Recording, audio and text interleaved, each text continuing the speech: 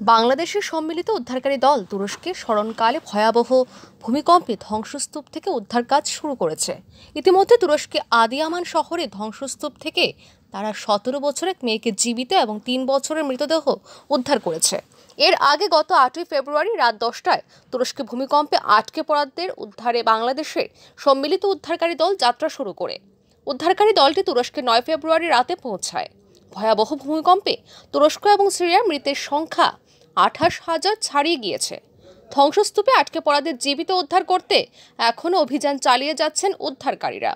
ভূমিকম্পের পর দীর্ঘ সময় অতিবাহিত হওয়ায় ধ্বংসস্তূপের নিচে হাজারো মানুষ আটকে পড়ায় এখন তুরস্কের বাতাসে লাশের গন্ধ ভাসছে।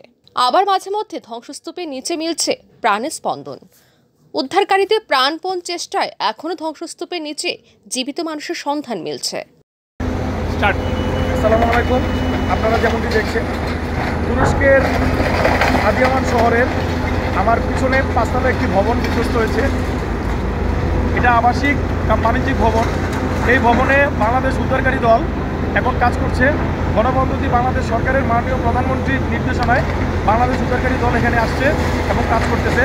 আমরা মেসেজ পাইছি যে এখানে পাঁচজন ভিকটিম আছে, এর মধ্যে দু একজন লাইভ ভিকটিমও আছে। তো যতদূর সম্ভব আমরা চেষ্টা করছি, যত দ্রুত সম্ভব তাদেরকে এখান থেকে এক্সট্রিকেট করা ভূমিকম্পে আহত আরও প্রায় আশি হাজার মানুষের চিকিৎসা চলছে হাসপাতালে। আর ভূমিকম্পে গৃহহীন হয়ে অস্থায়ী আশ্রয় কেন্দ্রে ঠাঁই নিয়েছে দশ লাখের বেশি মানুষ।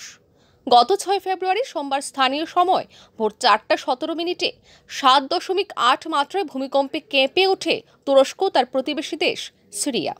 ওই ভূমিকম্পের পনেরো মিনিট পর ছয় দশমিক সাত মাত্রায় আরও একটি বড় ভূমিকম্প এবং পরে শতাধিক আফটার শক হয়। Viro Report, RE News.